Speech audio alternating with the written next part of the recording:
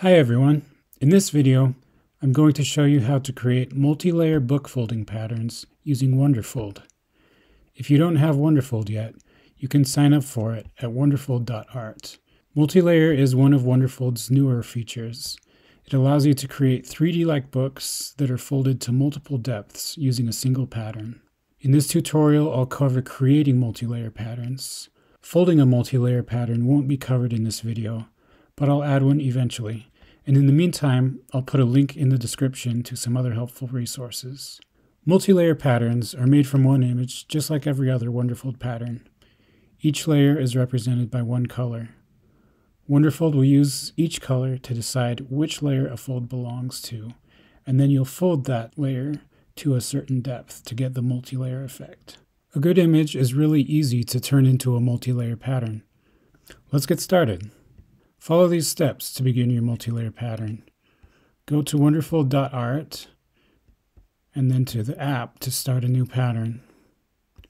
Next, load in your prepared image. For this tutorial, I've created this witch design that I'm going to load in to Wunderfold. Another easy way to get your image into Wunderfold is to drag and drop from your computer onto the Choose Image button. Next, I need to set the number of pages to fit the size of the book that I want to use. For this book, I'm shooting for around 515 pages. And then I want to update the page height to match the book that I'm using. Then, click on the Cut Fold Mode box and choose Multi-Layer from the menu and hit Generate. And that's it. Wunderfold will use the colors in the image to determine which layer each fold belongs to. You can also edit the layers, as well as edit individual cuts, just like in other patterns. But if you're satisfied with the results, there's no need to change anything. You can proceed to mark your book using the Ruler tab, or create a PDF of your pattern by clicking the Export button on the Print Export tab. We'll look at the options in the Export dialog a little bit later. Next, let's look in a little more detail at how these layers work. The reason my image was so easy to turn into a multi-layer pattern is because the colors I used in the image match up with the default colors that Wunderfold uses to create its layers. If I click the Edit Layers button, I can see that there are eight default layers, with a color used to represent each one. These eight colors are chosen because they have the highest contrast between them and make it the easiest for Wunderfold to decide how to divide the picture into different layers. You can think of them as the primary colors of the computer world. And if your design uses these eight colors, they will be easy to turn into multi-layer patterns. So because I used black, yellow, and this shade of blue called cyan, Wunderfold was able to match my pattern up with those colors and create the three layers based on those colors. But what if you have an image that was made with other colors? Can you still get good results with it? Yes, you can, and you can do that by editing your layers to match the image.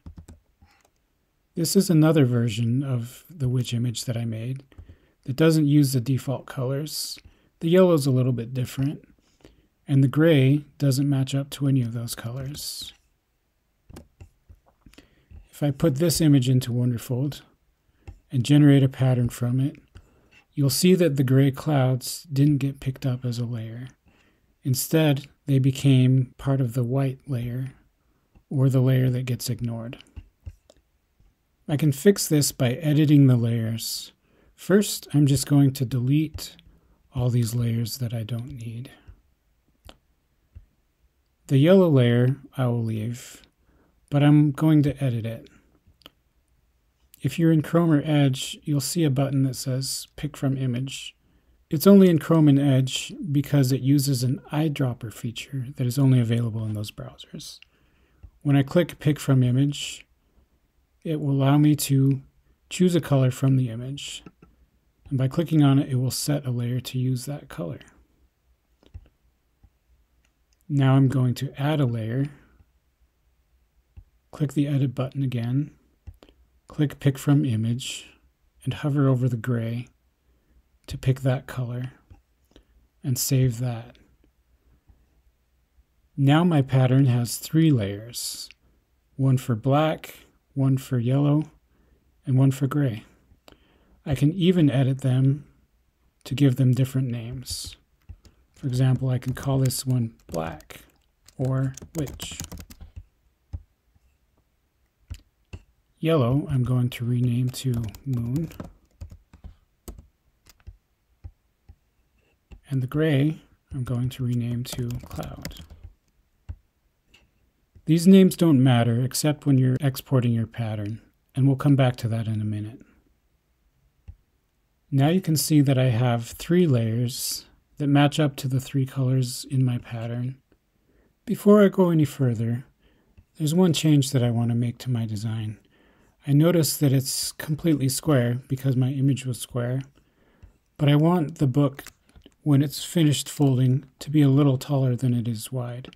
So I'm going to add a little bit of vertical spacing using the vertical spacing slider, and Wunderfold will add some space to the top and bottom.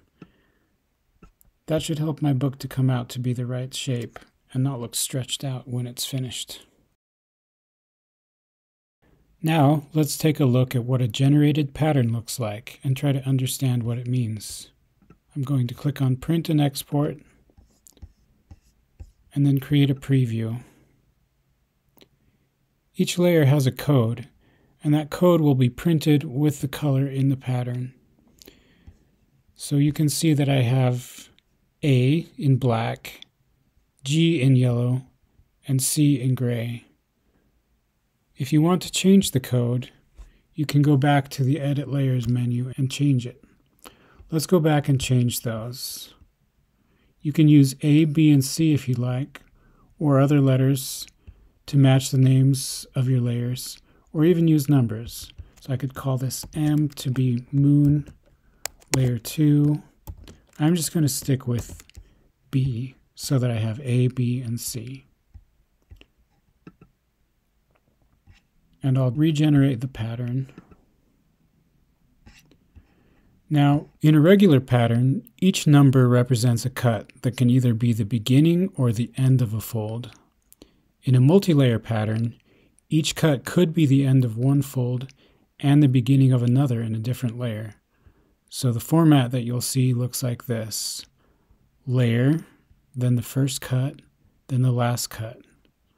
This means that you'll cut at both of these places, then fold to the depth for layer A.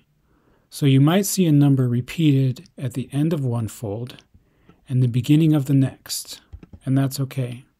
So right here I see two 8.6s next to each other. That just means that the two layers are right next to each other without a gap between them in the pattern. In this preview, you'll see yellow butting right up against black. And so that's why you'll see these numbers right next to each other. So as an example, if I were doing page 49, I would cut at 4.7 and 5.05, which is in between 5.0 and 5.1, and then fold to the depth of layer C. Then I'll do 8 and 8.1 and fold it to B. Then I'll cut 8.75. 8.1 has already been cut, and then I fold that tab to the depth of A and continue on throughout the page and throughout the pattern. Up here I've got my custom instructions that say what depths to fold the pattern to. These instructions can be added in this custom instructions box right here. If you need more space, you can drag it to be taller. There's also an option called Include Layer Key. When I check that, you'll see my preview get generated with a little table that shows the layers right here. This is an option, and I recommend if you're going to use it that you put the depths that you want to fold right into the name of the layer. So let's try that and see what it looks like. I've just edited my layers to include instructions on how far to fold them in. Now, when I check include layer key and generate my preview, My instructions are in a nice table along with the colors, and they give a nice reference on how the pattern should be folded. Finally, let's look at a multi-layer graph pattern. Choose PDF graph, and then generate your preview. You'll see that each page is represented by a line, and each fold is represented by a colored line that matches the layer that it belongs to. Graph patterns can save a lot of measuring and be quicker to fold than a numeric table pattern. I hope this takes some of the mystery out of multi-layer patterns and helps you get excited to create them for yourself. Remember, if you don't have Wunderfold yet, you can get it at wunderfold.art. And if you need help with anything, make sure to join Wunderfold's Facebook group, Wunderfold Book Folding Made Easy. You can also find me there and message me directly. Happy folding!